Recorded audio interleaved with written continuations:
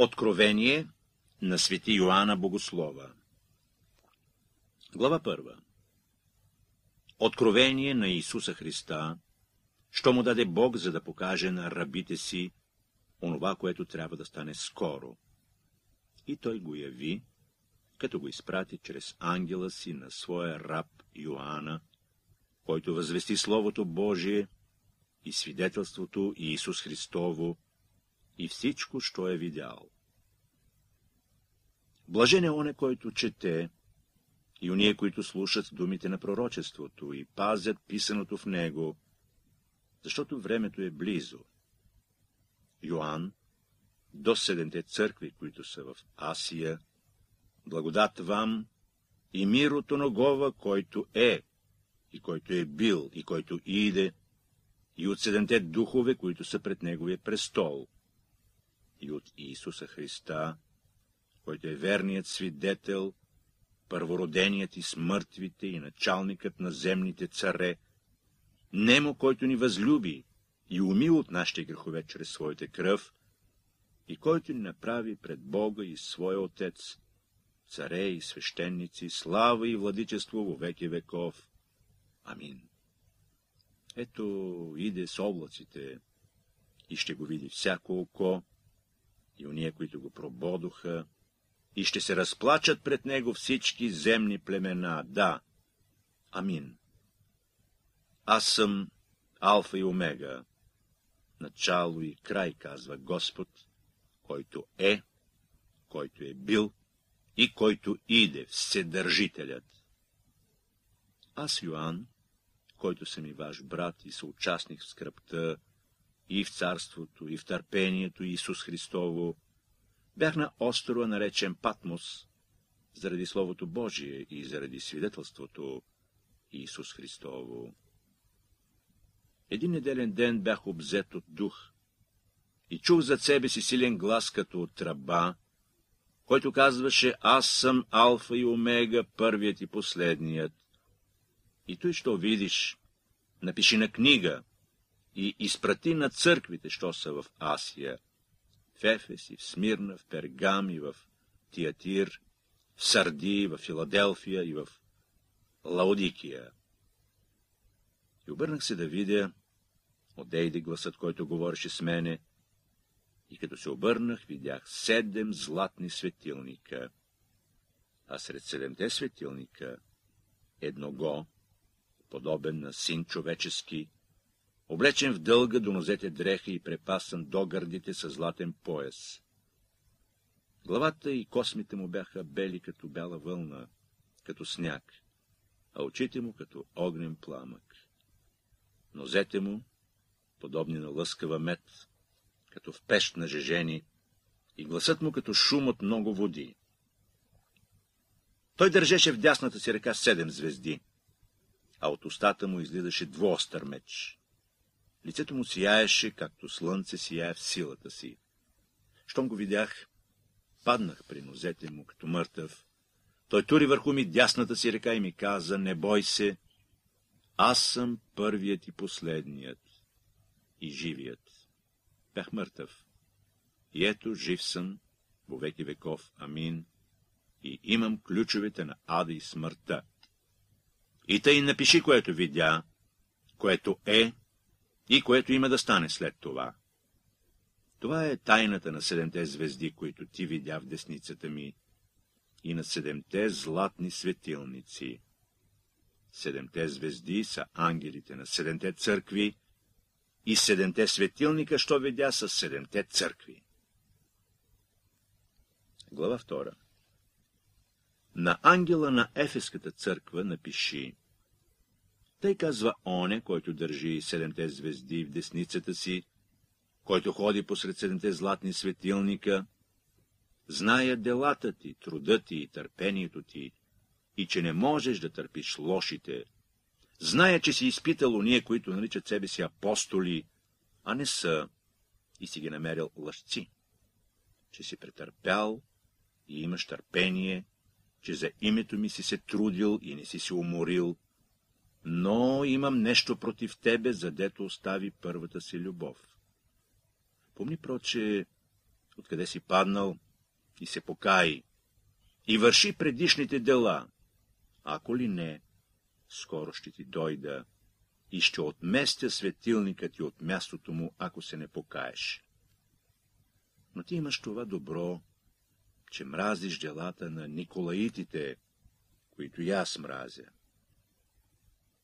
Който има ухо, нека чуе, що духът говори на църквите. Но нагова, който побеждава, ще дам да еде от дървото на живота, що е посред Божия рай. И на ангела на Смирненската църква напиши. Да и казва първият и последният, който биде мъртъв и оживя. Зная твоите дела, скръпи си ромашия, но ти си богат. И хулите на уния, които казват за себе си, че са юдеи, а не са, но са сатанинско сборище. Не бой се никак от онова, което има да претеглиш. Ето, дяволът ще хвърли някой от вас в тъмница, за да ви изкуси, и ще имате скръп десетина дни. Бъди верен до смърт, и ще ти дам венеца на живота. Който има ухо, нека чуе, що духът говори на църквите, който побеждава, няма да бъде повреден от втората смърт.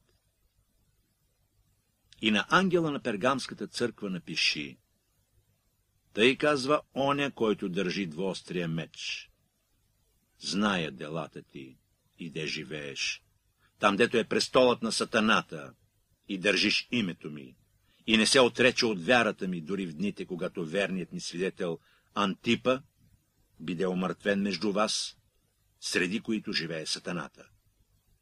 Но имам малко нещо против тебе, задето имаш там някои, които държат учението на Валаама, който учеше Валака да вкара в грях синовете Израилеви, та да ядат идоложертвено и да блудстват.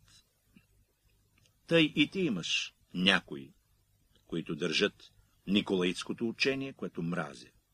Покай се, ако ли не, скоро ще ти дойда и ще вляза в бой против тях с меча на устата си. Който има ухо, нека чуе, що духът говори на църквите.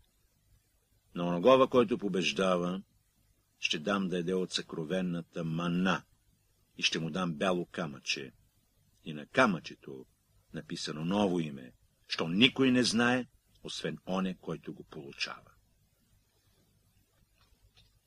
И на ангела на Тиатирската църква напиши, тъй казва син Божий, чието очи са като огнен пламък и нозете подобни на лъскава мед.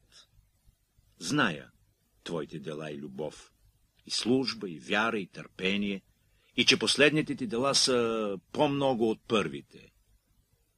Но имам малко нещо против тебе, задето допуска жената Езавела, която нарича себе си пророчица, да учи и преластява рабите ми да блудстват и да ядат идоложертвено. И дадох и време да се покая за блудството си, но тя се не покая. Ето, нея хвърлям на постелка, а прелюбодействащите с нея в голяма скръп, ако се не покаят за делата си. И чедата й ще поразе със смърт, и всички църкви ще узнаят, че аз съм, който изпитвам сърца и вътрешност, и всеки му от вас ще въздам според делата му. А вам и на другите в Тиатир, които не държат това учение и не са узнали така наречените дълбини сатанински, казвам, няма да ви наложа друго бреме. Само това, що имате, дръжте, докле дойда. И който побеждава и пази делата ми до край, нему ще дам власт над езичниците и ще ги пасе с жезъл железен, като глинени съдове ще се струшат, както и аз получих власт от отца си и ще му дам утрената звезда. Който има ухо, нека чуе, що духът говори на църквите. Глава трета И на ангела на Сардийската църква напиши тъй казва оня, който има седемте духове Божии и седемте звезди. Зная твоите дела. Носиш име, че си жив, а си мъртъв. Буден бъди и укрепявай останалото, което е на умиране, защото не намерих делата ти съвършени пред моя Бог. Помни, проче, как си приел и чу, и пази, и се покай.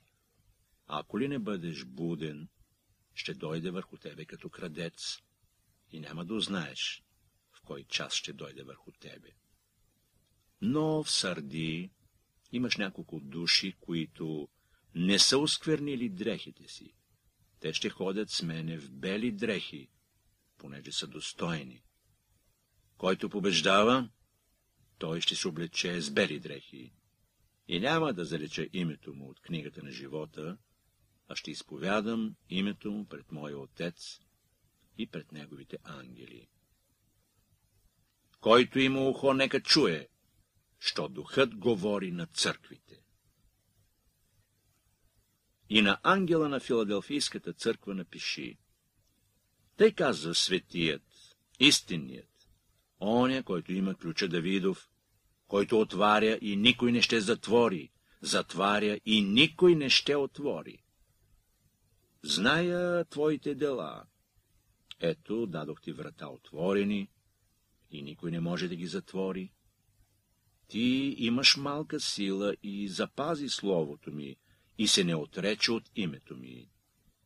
Ето ще ти дам от сатанинското сборище, уния, които казват за себе си, че са юдеи, а не са, но лъжат. Ето ще ги направя да дойдат и да се поклонят пред нозете ти и да познаят, че аз ти обикнах. Понеже ти запази словото на търпението ми, и аз ще ти запазя от часа на изкушението, който има да дойде върху цялата вселена, за да изкуси живеещите на земята. Ето и да скоро. Дръж, що имаш, за да не вземе някой венеца ти. Оногова, който побеждава, ще направя стълб в храма на моя Бог, и той няма вече да излезе вън, и ще напиша върху него името на моя Бог и името на града на моя Бог, на новия Иерусалим, който слиза от небето от моя Бог и моето ново име. Който има ухо, нека чуе, що духът говори на църквите. И на ангела на Лаодикийската църква напиши. Тъй казва, Амин, верният и истински свидетел началото на Божието създание. Зная твоите дела, ти не си ни студен, ни горещ. О, дано да бъдеш студен или горещ. Така, понеже си хладък и нито горещ, нито студен, ще се изблювам и с устата си. Защото казваш, богат съм, разбогатях и от нищо не се нуждая, а не знаеш, че ти си злочест и клет, сиромах, сляп и гол. Съветвам те да си купиш от мене злато през огън пречистено, за да се обогатиш. И бяло облекло, за да се облечеш, и да се не виждат срамотиите на твоята голота, и сочна мас на мъжи очите си, за да виждаш. Които аз обичам, тях изобличавам и наказвам. И тъй бъди ревностен и се покай. Ето стоя пред вратата и хлопам.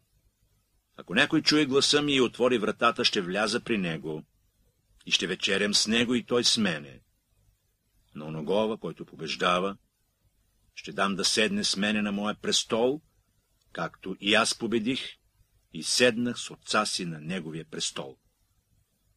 Който има ухо, нека чуе, що духът говори на църквите. Глава четвърта След това погледнах, и ето врата отворени на небето, и предишният глас, що бях чул като от ръба, който говореше с мене, казва, изкачи се тук и ще ти покажа какво трябва да стане след това. И веднага бях обзет от дух. И ето на небето стоеше престол, и на престола седеше някой, който седеше, наглед приличаше на камък яспис и сардис, а около престола имаше и дъга, която наглед приличаше на смарагд. Около престола пък имаше 24 престола, а на престолите видях седнали 24 старци, облечени с бели дрехи, и на главите си имаха златни венци. И от престола излизаха светкавици, грамотевици и гласове, а пред престола горяха седем огнени светила, които са седемте Божии духове. И пред престола имаше стъклено море, подобно на кристал, а сред престола и около престола четири животни, отпред и отзад пълни с очи. Първото животно приличаше на лъв, второто животно на теле. Третото животно имаше лице като на човек, а четвъртото животно приличаше на хвърчащ орел. И четирите животни имаха по шест крила наоколо си, а извътре бяха пълни с очи, и без почивка денем и нощем възклицаваха. Свет, свет, свят е Господ Бог Седържител, който е бил, който е и който иде. А когато животните въздаваха слава, чест и благодарност на седналия на престола, на живеещия во веки веков, двайсет и четирите старци падаха пред седналия на престола, покланяха се на живеещия во веки веков и полагаха венците си пред престола, казвайки Достоен си, Господи, да приеме славата, честа и силата, защото Ти си сътворил всичко и по Твоя воля всичко съществува и е сътворено. Глава пета И видях в десницата на Ногова, който седеше на престола, книга, написана отвътре и отвън, запечатана с седем печата.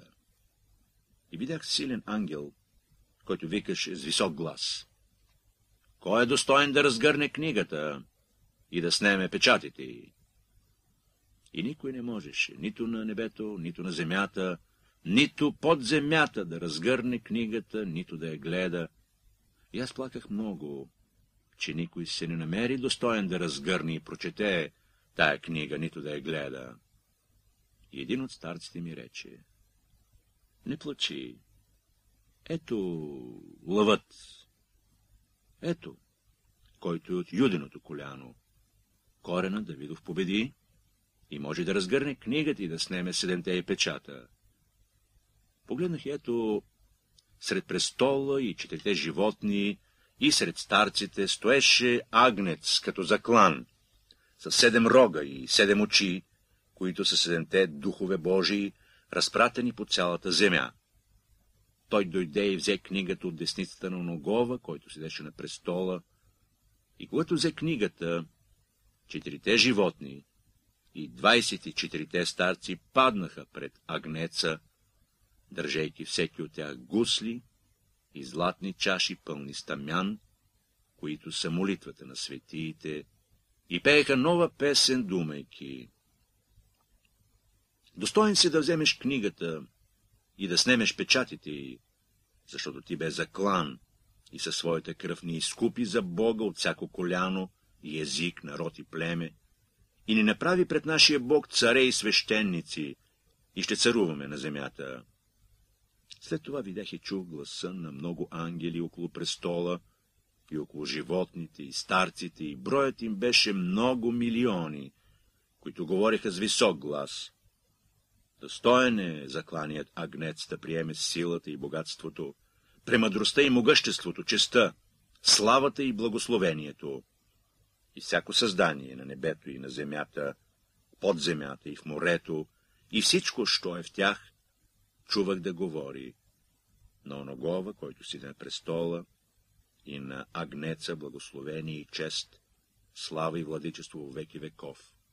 И четирите животни казваха Амин, и двайсет и четирите старци паднаха и се поклониха на живеещия во веки веков. Глава 6 И видях, когато агнецът сне един от седемте печата, и чух едно от четирите животни да говори като с глас на грамотевица, дойди и гледай. И видях, и ето бял кон, и на него е здач слък, и даден му бе венец, и той излезе като победител, за да победи. А когато сне втория печат, Чух второто животно да говори, дойди и гледай.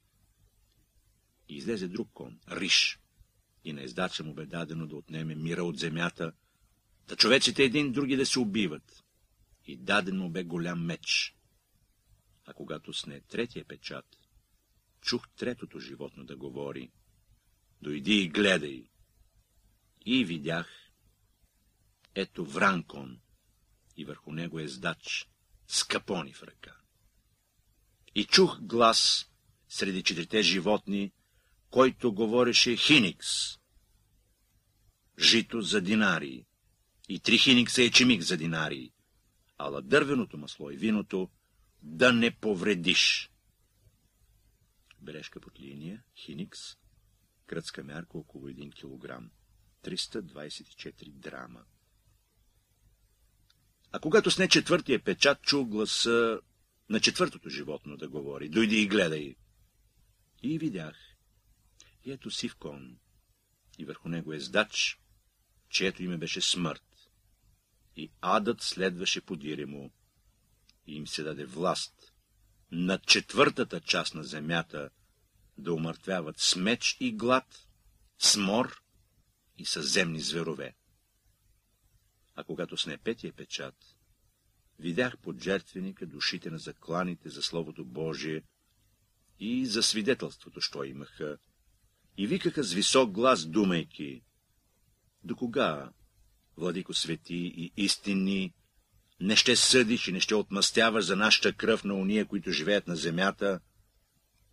Всеки му от тях се дадоха бели дрехи и им се каза да починат още малко време, докле се напълни броят на съслужителите и братята им, които ще бъдат убити, както и те. И видях, когато сне шестия печат, и ето стана голям трус, и слънцето стана черно, като струнено вретище, и месечината стана като кръв.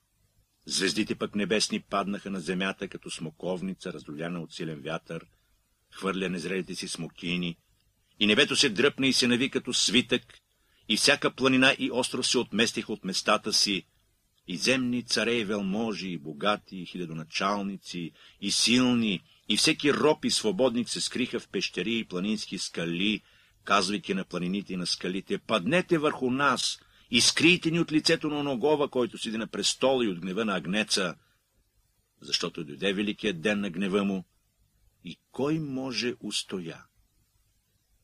Глава седма След той видях четири ангела, да стоят на четирите ъгли на земята, държейки четирите земни ветрове, за да не духа вятър нито на земята, нито на морето, нито на някое дърво.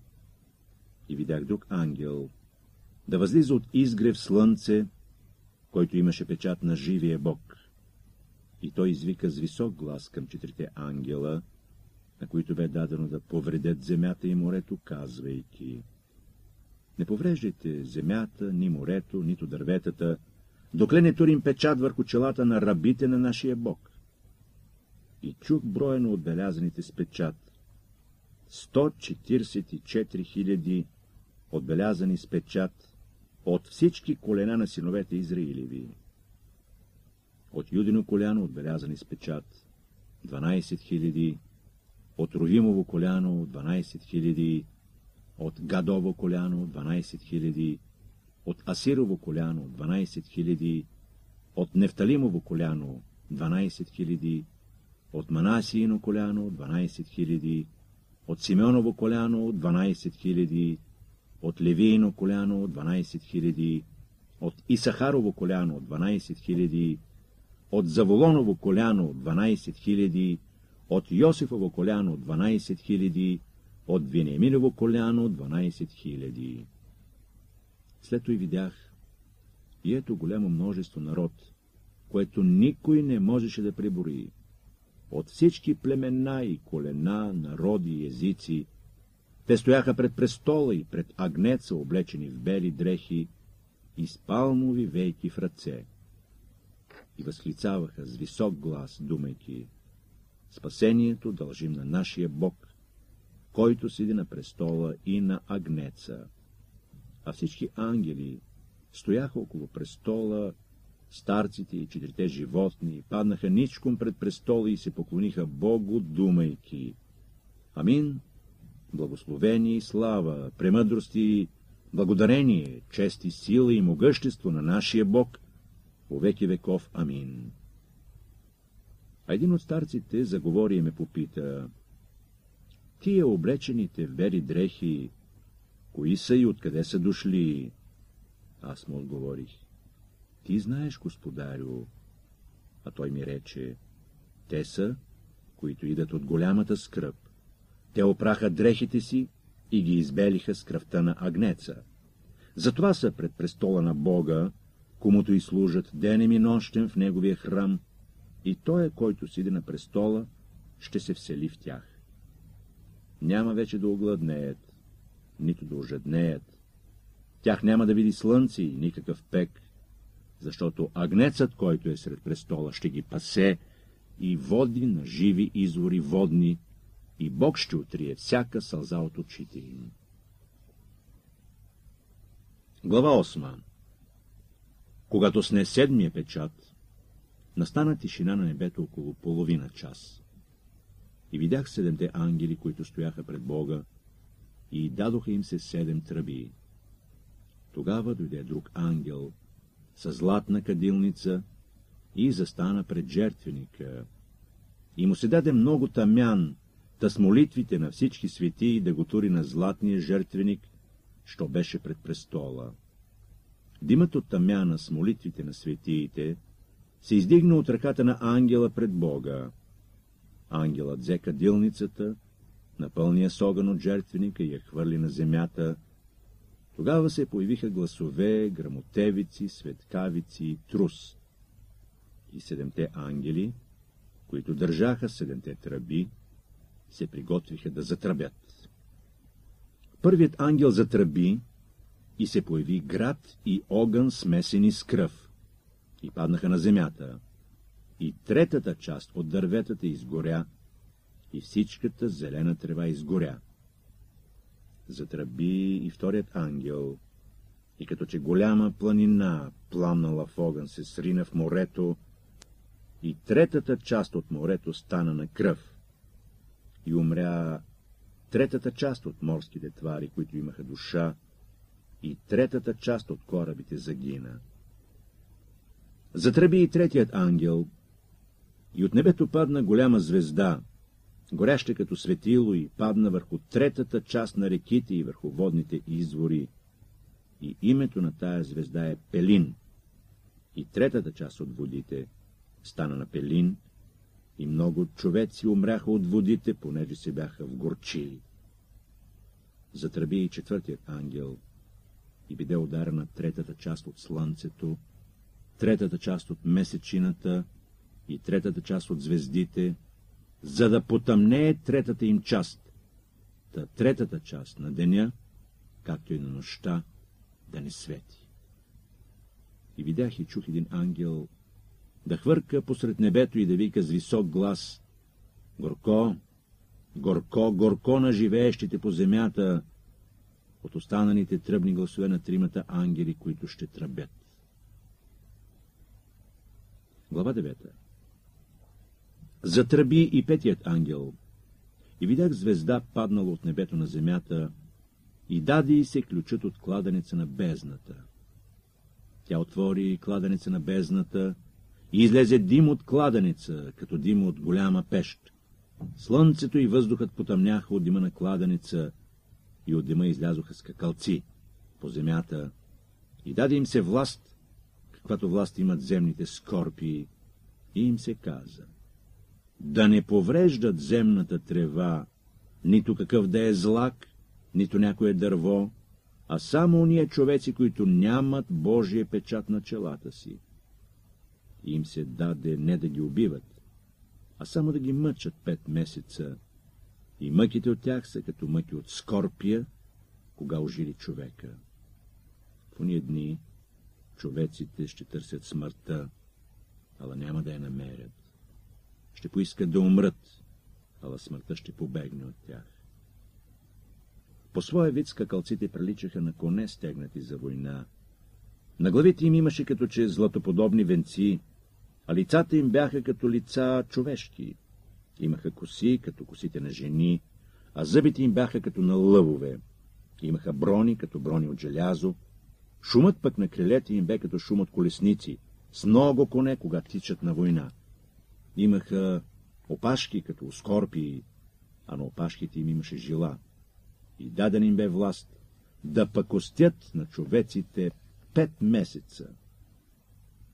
За цар над себе си имаха ангела на бездната, името му по-еврейски е Авадон, а по-гръцки Аполион, си реч губител.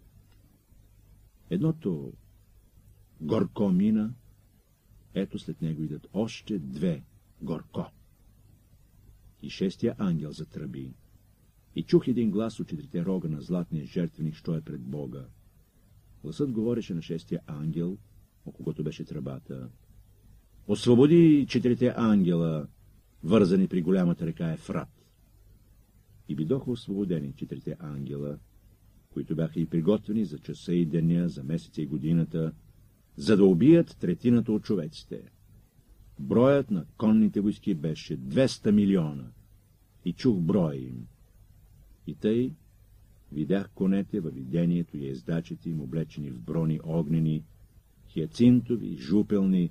Главите на конете бяха като глави на лъвове, и от устата им излизаше огън, дим и жупел. От тия три язви, огъня, диме и жупела, излизащи от устата им, умря третината от човеците, защото тяхната сила беше в устата им, а опашките им приличи на змии, имаха глави, с които пък остяха. И останалите човеци, които не загинаха от тия порази, не се и покаяха за делата на ръцете си, да да се не покланят на бесове и на златни, сребърни, медни, каменни и дървени идоли, които не могат нито да виждат, нито да чуват, нито да ходят, и не се покаяха за убийствата си, нито за магиосничеството си, нито за блудството си, нито за кражбите си. Глава 10 И видях друг силен ангел да слиза от небето, обгърнат от облак. Над главата му дъга и лицето му като слънце, а нозете му като огнени стълбове. В ръката си държеше разгърната книжка. И тури десния си крак на морето, левия на земята, и извика с висок глас, както лъв рика. А когато извика, седемте гръма проговориха със своите гласове. И когато седемте гръма проговориха с гласовете си, наканих се да пиша, но чух глас от небето да ми казва «Запечатай това, що говориха седемте гръма и не дей го писа». И ангелът, когато видях да стои на морето и на земята, дигна ръка към небето и се закле в оногова, който живее во веки веков, и който сътвори небето и каквото е на него, земята и каквото е върху нея, и морето и каквото е в него, че не ще вече да има време. Но в дните, когато седмият ангел възгласи и затръби, ще се извърши тайната на Бога, както бе благовестил той на своите раби пророците. И гласът, що бях чул от небето, отново заговори с мен и рече. Иди и вземи разгърнатата книжка в ръцете на ангела, който стои на морето и на земята. И отидох при ангела и му рекох, дай ми книжката. Той ми отвърна, вземи я и я изяш. В корема ти ще бъде горчива, но в устата ти ще бъде сладка, като мед. И взех книжката от ръката на ангела, я изядох, и в устата ми беше сладка като мед, а когато я изядох, стана ми горчиво в корема. И ми каза, трябва пак да пророкуваш между много народи и племена, езици и царе. Глава 11 И даде ми се тръст, подобна на жезъл, и ми се каза, стани и измери Божия храм и жертвеника, и уния, които се покланят в него, а външният двор на храма изключи и го не измервай, понеже е даден на езичниците. Те ще тъпчат светия град 42 месеца. И ще дам на двамата мои свидетели, и те, облечени във вретище, ще пророкуват 1260 дена. Това са двете маслинини дървета и двата светилника, що стоят пред Бога, Господа на земята. И ако някой иска да ги увреди, огън ще излезе из устата им и ще погълне враговете им. Ако някой поиска да ги увреди, така трябва той да бъде убит. Те имат власт да затварят небето, за да не вали дъжд в дните на тяхното пророкуване, и имат власт над водите да ги превръщат в кръв и да поразят земята всякаква пораза, колчем поискат. И когато завършат свидетелстването си, звярат, който излиза из бездната, ще встъпи в бой с тях, ще ги победи и ще ги убие, а труповете им ще остави по стъгдите на големия град, който духовно се нарича Содом, и Египет, дето и Господ наш биде разпнат. Мнозина от народите и колената, от езиците и племената ще гледат труповете им три дена и половина и не ще оставят да бъдат положени труповете им в гробове. Жителите на земята ще се зарадват за тях и ще се развеселят и ще си пратят дарове един други му, понеже тия два пророка мъчиха живеещите на земята. Но след трите и половина дни от тях ще влезе дух на живот от Бога, и те ще се изправят на нозете си, и голям страх ще обземе уния, които ги гледат. Тогава ще чуят висок глас от небето да им казва Възлезте тука, ще възлязат на небето в облак и враговете им ще ги видят. В оне час ще стане голям трус и десетата част на града ще падне, а от труса ще загинат седем хиляди имена човешки.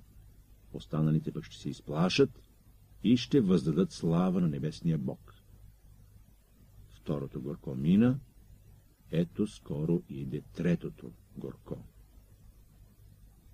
Затръби и седмият ангел, и се разнесоха по небето силни гласове, които викаха Царството на света стана царство на Господа нашего и на Неговия Христос, и той ще царува во веки веков. И 24-те старци, които седяха пред Бога на престолите си, паднаха ничком и се поклониха Богу, казвайки Благодарим ти, Господи Боже Вседържителю, който си, който си бил и който идеш, задето си проявил Твоята голяма сила и си се възцарил. И разлютиха се народите и дойде гневът ти, и времето да бъдат съдени мъртвите и да дадеш отплата на твоите раби, на пророците, на светиите и на уния, които се боят от името ти, малки и големи, и да погубиш губителите на земята. Тогава на небето се отвори храмът на Бога и се яви ковчегът на завета му в неговия храм. След това се явиха светкавици и гласове, грамотевици и труси, голяма градушка. Глава 12 И яви се на небето голяма поличба. Жена, облечена в слънце, под нозете и месечината, а на главата й венец от 12 звезди. Тя беше непразна и викаше от родилни болки и се мъчеше да роди. След това се яви друга поличба на небето. Ето, голям червен змей със седем глави и десет рога, а на главите му седем корони. Опашката му повлече третината от небесните звезди и ги свали на земята. Змеят застана пред жената, която щеше да ражда, та кога роди да изяде детето й.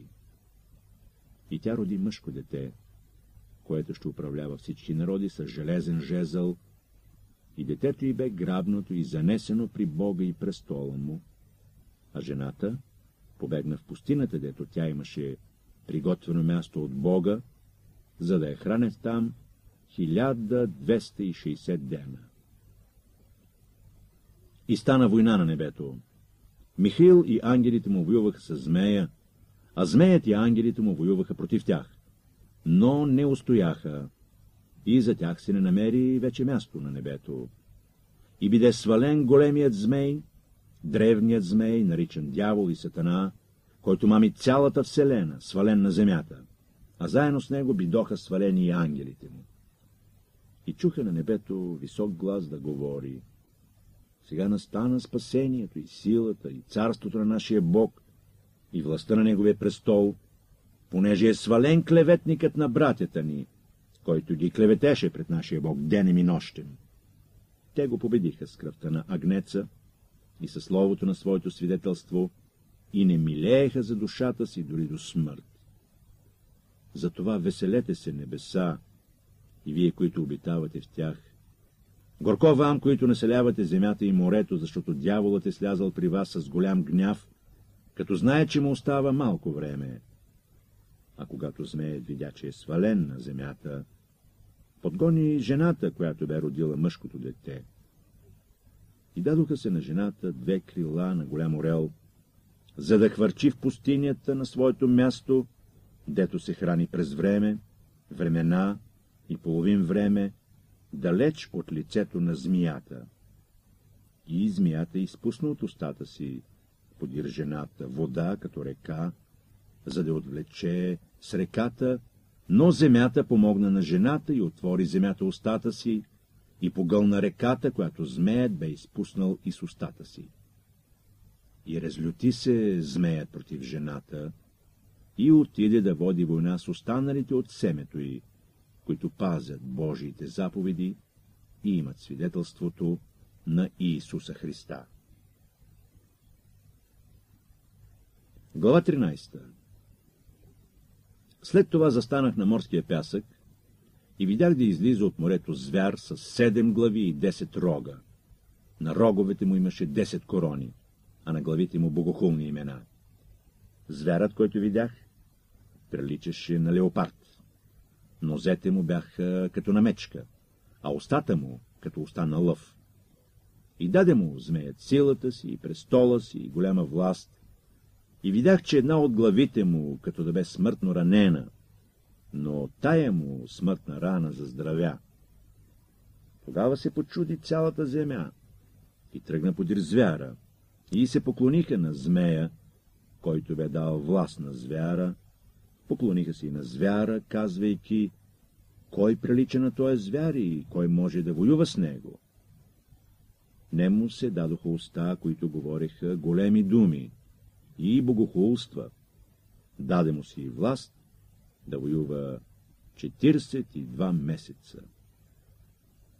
Тогава отвори уста за хула против Бога, за да похули името му, жилището му и уния, които живеят на небето. И даде му се да воюва против светиите и да ги победи, даде му се власт над всяко коляно, език и народ, и му се поклониха всички жители земни, чието имена не са написани в книгата на живота при Агнеца, за клан от създание мира. Който има ухо, нека чуе. Който откарва в плен, сам ще отиде в плен. Който смеч убие, той трябва смеч да бъде убит. Тук е търпението и вярата на светиите. И видях друг звяр да излиза от земята. Той имаше два рога, като на агне, и говореше като змей.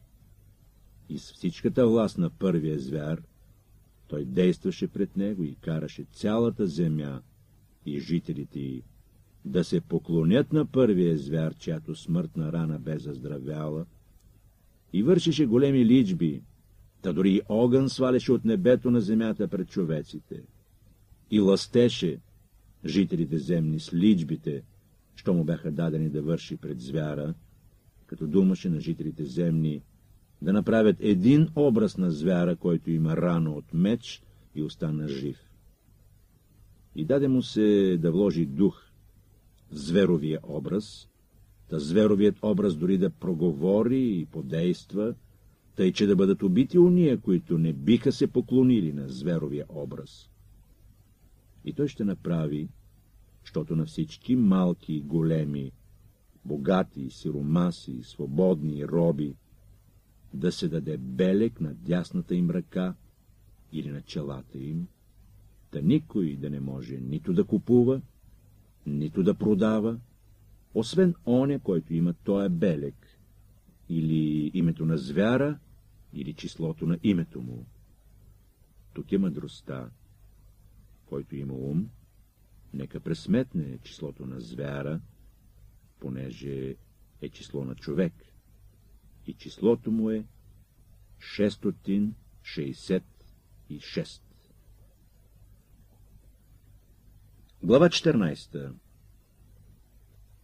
След това видях, ето агнецът стои на планина Сион, и с него 144 хиляди, които имаха на челата си написано името на неговия отец. И чух глас от небето, като шум от много води и като звук от силен гръм. Чух глас на гуслари, които свирят на гуслите си и пеят като че ли нова песен пред престола и пред четирите животни и старците, и никой не можеше да научи тая песен, освен уния 144 хиляди, които бяха изкупени от земята. Тия са, които се не оскверниха с жени, защото са девствени. Тия са, които вървят след агнеца, където и да отиде. Тия са изкупени измежду човеците на чатъци на Бога и агнеца. И в устата им лъст се не намери. Те са непорочни пред престола Божий. И видях друг ангел да хвърчи посред небето, който имаше вечно Евангелие, за да благовести на жителите земни на всяко племи и коляно език и народ. Той говореше с висок глас. Бойте се от Бога и му въздайте слава, защото настъпи часът на неговия съд. И поклонете се на оногова, който е сътворил небето и земята, морето и водните извори. И друг ангел последва и казваше, падна, падна Вавилон, великия град, защото напои всички народи с яростното вино на блудството си. И третия ангел го последва, като говореше с висок глас, който се поклони на звяра и на образа му, и получи белек на челото си или на ръката си, той ще пие от виното на яростта Божия, вино неразводнено, наляно в чашата на гнева му, и ще бъде измъчван с огън и жупел пред светиите ангели и пред агнеца. Димът от мъчението им ще се издига по веки веков. Няма да имат покой ни денем, ни нощем уния, които се поклонят на звяра и на образа му, и които получават берега на името му. Тук е търпението на светиите, тук са тия, които пазят заповедите Божии и вярата в Иисуса. И чух глас от небето да ми казва, напиши, блаженни са мъртвите, които умират в Господа от сега. Да, казва духът, нека починат от трудовете си, делата им вървят заедно с тях. И видях, ето светъл облак, и на облака седеше някой, подобен на сина човечески. На главата си той имаше златен венец, а на ръката остър сърп. И друг ангел излезе от храма и извика с висок глас на Ногова, който седеше на облака, прати сърпа си и пожани, защото дойде ти часът за жетва. Жетвата на земята е озряла. И седналият на облака хвърли сърпа си на земята и земята биде по жъната. И друг ангел, също така с остър сърп, излезе от храма, който се намираше на небето, и друг ангел, който имаше власт над огъня, излезе от жертвеника и със силен вик извика към оногова, който имаше острия сърп, казвайки, прати острия си сърп и убери гроздовете на земното лозе, защото грозето му озря. И ангелът хвърли сърпа си на земята, обра земното лозе и хвърли грозето в големия лин на Божия гняв. Изтъпкан биде линът вън от града и потече кръв от жлеба, дори до юздите на конете, на 1600 стадии. Глава 15 И видях друга полижба на небето, голяма и чудна. Седем ангели, които държаха седемте последни порази, защото с тях се свърши Божият гняв. И видях като че ли стъклено море, смесено с огън, а уния, които победиха звяра и образа му, белега му и числото на името му, стояха на това стъклено море и държаха гусли Божии.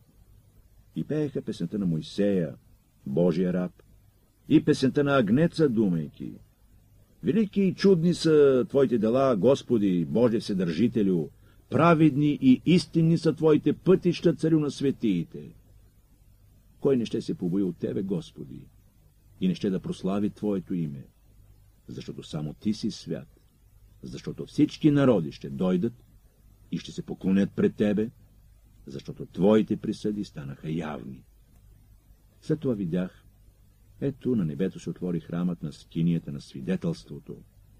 И излязох от храма седемте ангели, които държаха седемте порази, облечени с чисти и светли ленени дрехи и опасани през градите с златни пояси. И едно от четирите животни даде на седемте ангели седем златни чаши, пълни с гнева на Бога, който живее во веки веков. И напълни се храмът с дим от славата на Бога и от силата му и никой не можеше да влезе в храма, докле се не свършиха седемте порази на седемте ангели. Глава 16 И чух от храма висок глас да казва на седемте ангели. Идете, излейте на земята седемте чаши с гнева Божий. Отиде първият ангел, да изля на земята своята чаша, и по човеците, които имаха берега на звяра и се покланяха на образа му, появиха се лоши и люти струпи. Вторият ангел изля своята чаша в морето, и то стана на кръв, като кръвта на убит човек, и всичко живо в морето измря. Третият ангел изля чашата си в реките и в изворите водни, и те станаха на кръв. След това чух ангела на водите казва, праведен си Господи, който си, който си бил и който си свят, задето те си отсъдил, понеже те проляха кръв на свети и пророци, и ти им даде кръв да пият, заслужават това. И чух други го да говори от жертвеника, да, Господи Боже Вседържителю, истински и праведни са Твоите присъди. Четвъртият ангел изля чашата си върху слънцето и даде му се да опалва с огън човеците. И силна жега опали човеците, а те похулиха името на Бога, който имаше власт на тия порази, и се не покаяха да му въздадат слава. Петият ангел изля чашата си върху престола на звяра, и царството на тоя се помрачи, и човеците прехапваха езика си от болка, и похулиха небесния Бог поради болките и раните си, ала се не разкаяха за делата си. Шестият ангел изля чашата си в голямата река Ефрат и пресъхна водата й, за да се приготви пътят за царете от изгрев слънце. И видях да излизат от устата на змея и от устата на звяра, и от устата на лъжепророка три нечисти духа, подобни на жаби. Това са бесовски духове, които вършат личби. Те отиват към царете на земята и на цялата вселена, за да ги съберат за война в онзи велик ден на Бога Вседържителя. Ето аз ида като крадец. Блажен е, който бди и пази дрехите си, за да не ходи гол и да се не виждат срамотиите му. И събра ги на място, наречено по-еврейски Армагедон. Седмият ангел изля чашата си на въздуха, и от престола на небесния храм се раздаде висок глас, който казваше «Свърши се!» И бидоха светкавици, грамотевици и гласове, и биде силен трус, такъв голям и силен трус, какъвто не е ставал, откакто има човеци на земята. Великият град се раздели на три части, и езическите градове паднаха, а Вавилон, велики, биде споменат пред Бога, за да му се даде чашата с вино от яроста на гнева му. Всички острови изчезнаха и планините вече се не видяха. Едра градушка, колкото талант тежка, валеше от небето върху човеците, а човеците похулиха Бога поради поразата от градушката, защото тази пораза беше твърде голяма. Глава 17 След това дойде един от седемте ангели, които имаха седемте чаши, и говори с мене, като ми каза, дойди, ще ти покажа осъждането на голямата блудница, която седи над многото води. С нея блудстваха земните царе. Извиното на блудството и се опиха жителите на земята. И ми отнесе духом в пустиня, и видях една жена да седи на черен звяр, който беше пълен с богохулни имена и имаше седем глави и десет рога. А жената беше облечена в багърница и червено, украсена с злато, драгоценни камъни и бисери, в ръка си държеше златна чаша, пълна с гносоти и нечистота от блудството й. И на челото й бе написано името Тайна, Вавилон Велики, майка на блудниците и на земните гносоти. Видях, че жената беше пияна от кръвта на светиите и от кръвта на свидетелите и Исусови, и като я видях, почудих се твърде много. И каза ми ангелът, какво се чудиш? Аз ще ти кажа тайната на жената и на този звяр, който я носи, и има седем глави и десет рога. Зверът, който ти видя, беше и го няма. Той ще излезе от бездната и ще загине. И уния земни жители, чието имена не са вписани в книгата на живота от създание мира, ще се почудят, като видят, че звярат беше и го няма, макар и да съществува. Тук се иска ум, който да има мъдрост.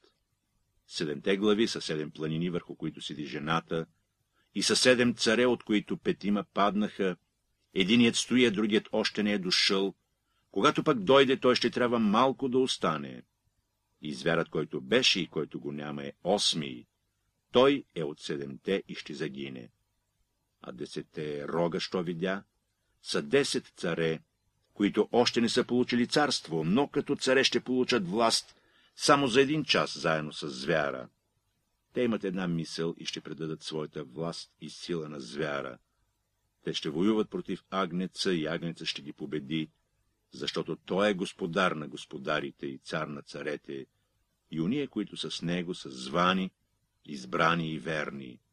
И казва ми, водите, които видя, дето седи блудницата, са народи и тълпи, племена и езици, а десете рога, що видя на звяра, те ще намразят блудницата, ще я направят пуста и гола, плата и ще изядат, а сама нея на огън ще изгорят, защото Бог им тури на сърце да изпълнят волята му, да се сговорят и да дадат царството се на звяра, докато се изпълнят думите Божии. И жената, която ти видя, е големият град, който царува над земните царе. Глава 18 След това видях да слиза от небето друг ангел, който имаше голяма власт, и земята светна от неговия блясък. И силно извика той, като казваше с висок глас. Падна, падна Вавилон, великата блудница, и стана жилище на бесови и свърталище на всякакъв нечист дух, свърталище на всички нечисти и омразни птици, защото от виното на яростно блудство пиха всички народи, и царете земни блудстваха с нея, а търговците земни разбогатяха от големия и разкош.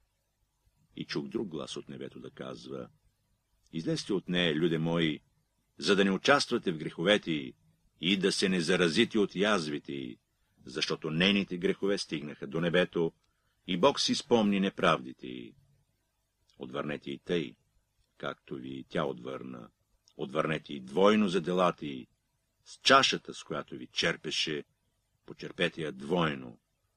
Колкото се е прославила и живяла разкошно, толкова мъка и скръпи върнете, понеже тя казва в сърцето си, седя като царица, вдовица не съм и скръп няма да видя, затова в един ден ще й се струпат поразите, смърт, жалост и глад, и ще бъде изгорена в огън, защото силен е Господ Бог, който я съди.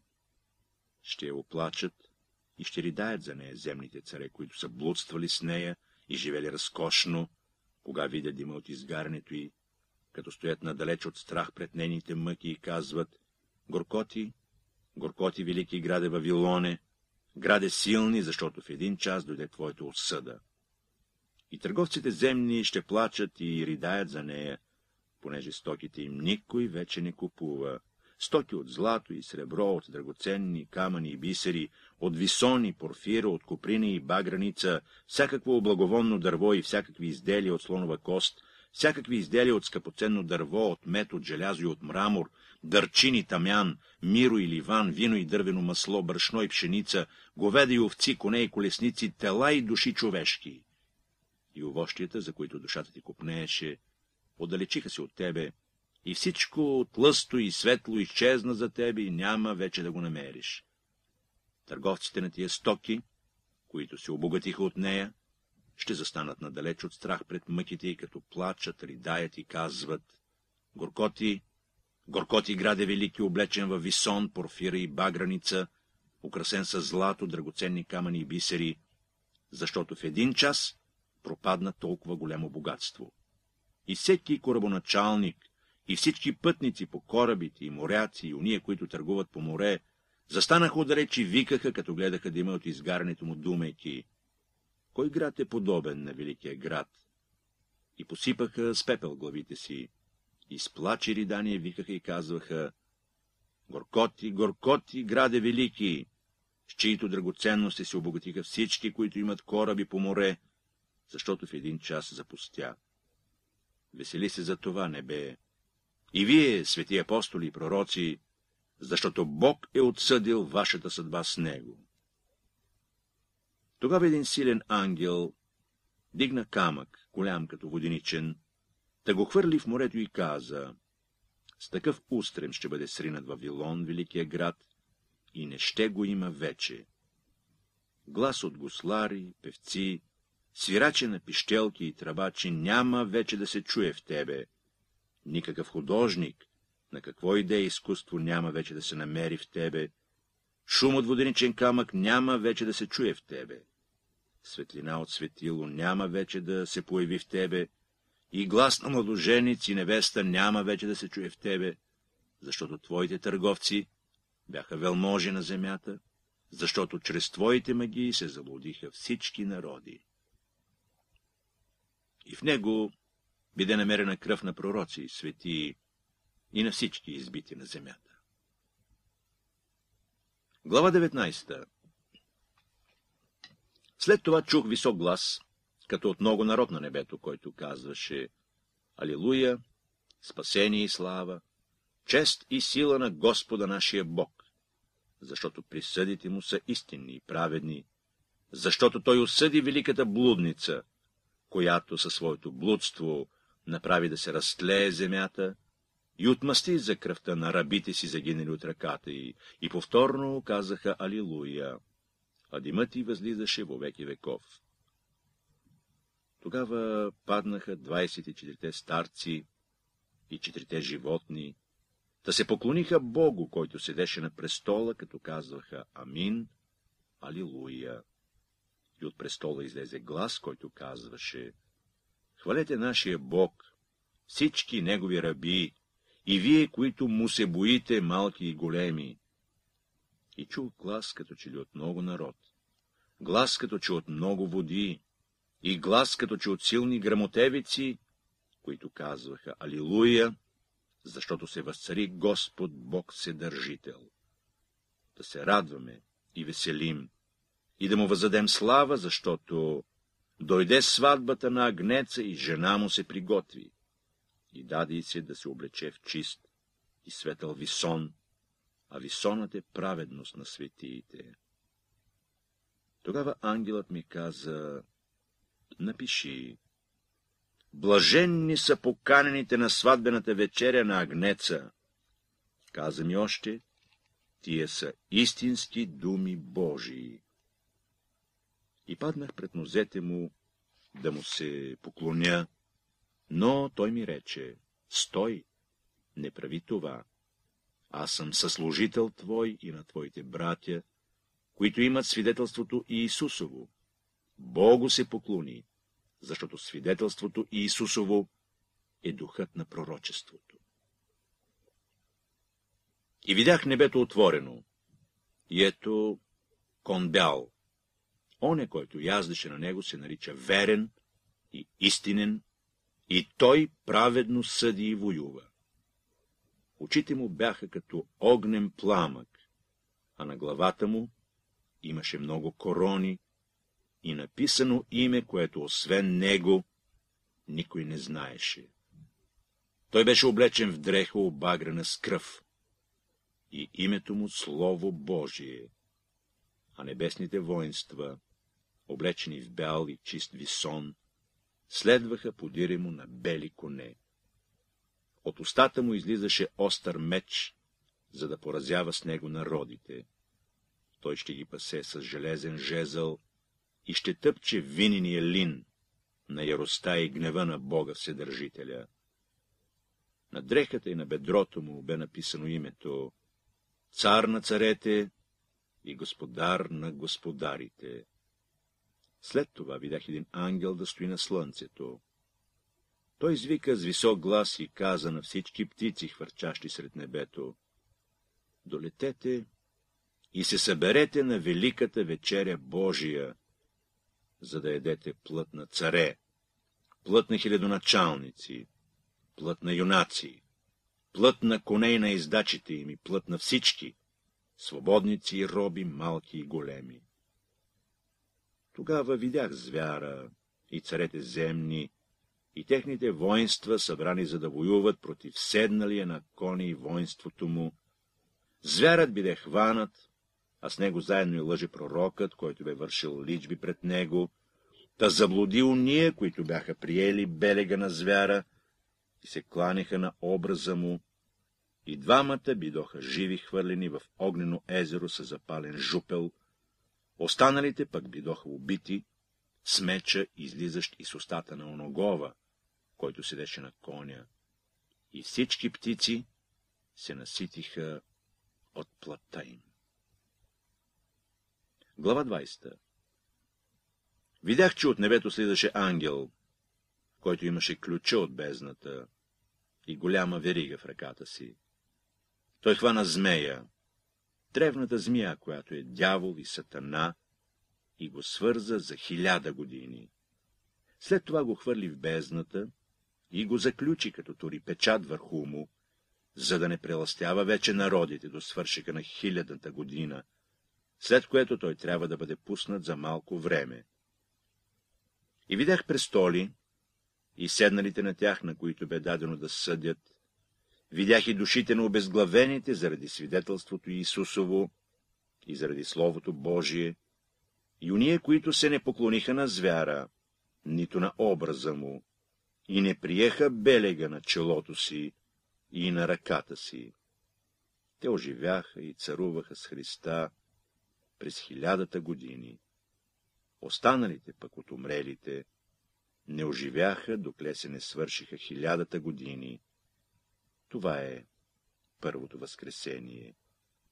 Блажен и свят е, който има дял в първото възкресение. Над тях втората смърт няма власт, а те ще бъдат свещеници на Бога и Христа и ще царуват с Него хиляда години. А кога се свършат хилядата години, сатаната ще бъде пуснат от тъмницата си и ще излезе да преласти народите по четирите краища на света, Гога и Магога, и да ги събере за война, броят им е колкото морският пясък. Те възлязоха по ширината земна и заобиколиха стана на светиите и възлюбения град. Падна от Бога огън небесен и ги погълна, а дяволът, който се ластеше, биде хвърлен в огненото и жупелно езеро, дето е звярат и лъже пророкът, те ще бъдат мъчени денем и нощем по веки веков. И видях голям бел престол, и седнали на него, от чието лице побягна земята и небето, и за тях се място не намери. След това видях мъртвите, малки и големи, да стоят пред Бога. Отвориха се книги, отвори се и друга книга, книгата на живота, и съдени бяха мъртвите по записаното в книгите според делата си. Морето върна мъртвите, които бяха в него, Смъртта и адът върнаха мъртвите, които бяха в тях, и съден биде всякой според делата си. А смъртта и адът бидоха хвърлени в огненото езеро. Тази е втората смърт. И който не бе записан в книгата на живота, биде хвърлен в огненото езеро. Глава 21 и видях ново небе и нова земя, защото предишното небе и предишната земя бяха преминали, и морето вече го нямаше. Тогава аз, Йоанн, видях светия град Ярусалим, нов, слизащ от Бога, от небето, стъкмен като невеста, пременена за своя мъж. и чух висок глас от небето да говори. Ето скинията на Бога с човеците, и той ще живее с тях, те ще бъдат негов народ, а сам Бог ще бъде с тях техен Бог. И ще отрие Бог всяка сълза от очите им. И смърт не ще има вече, ни жалейка, ни писък, нито болка няма да има вече, защото предишното се мина. И седящият на престола рече, ето, всичко ново творя. И ми казва, напиши, защото тия думи са истински и верни. След това ми рече, свърши се. Аз съм Алфа и Омега, началото и краят. На жадния аз ще дам даром от извора на живата вода. Който побеждава, ще наследи всичко и ще му бъда Бог, а той ще ми бъде син. А на страхливи и неверни, на мръсници и убийци, на блудници и магиосници, на идолослужители и на всички лъжци, делът им е в езерото, що гори с огън и жупел. То е втора смърт. Тогава дойде при мен един от седемте ангели, които държаха седемте чаши, пълни с седемте последни язви, проговори ми и рече, дойди, ще ти покажа жената, невеста на Агнеца. Па ме отнесе духом на голяма и висока планина и ми показа големия град, светия Ярусалим, който слизаше от небето, от Бога. И имаше Божия слава.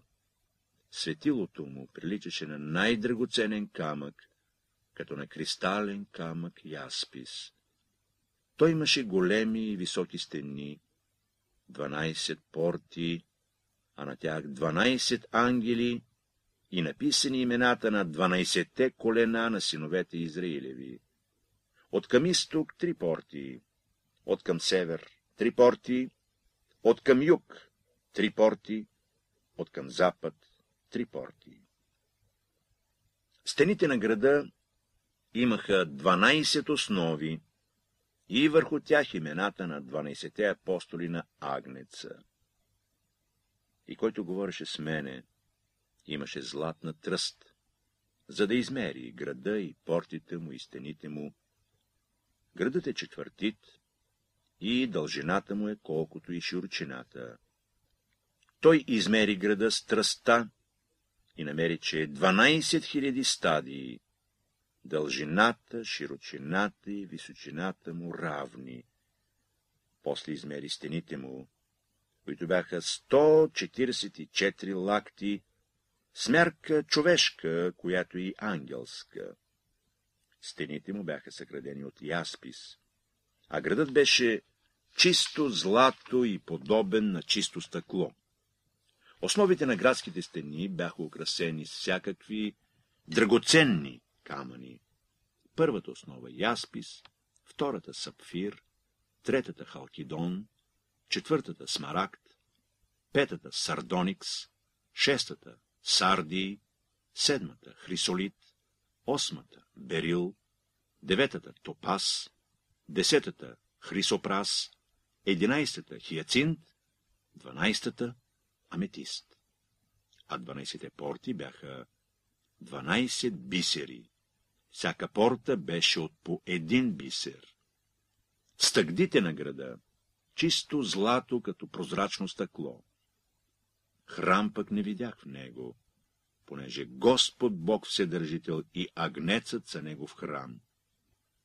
И градът няма нужда ни от слънце, ни от месечина, за да светят в него, понеже Божията слава го е осветила и светило му е агнецът и спасените народи ще ходят светинята му, и земните царе ще принесат с него своята слава и чест, и портите му няма да се заключват денем, а нощ не ще има там, и ще принесат в него славата и честа на народите.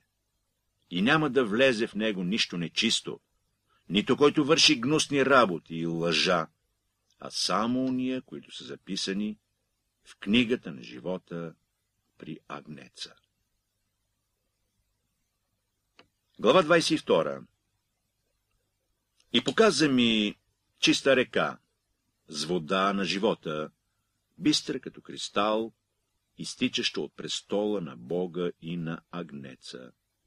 Посред главната му улица и от двете страни на реката стои дърво на живота, което дава 12 пъти плодове, като всеки месец ражда своя плод. Листата на дървото служат за изцеление на народите. И не ще има вече никакво проклятие.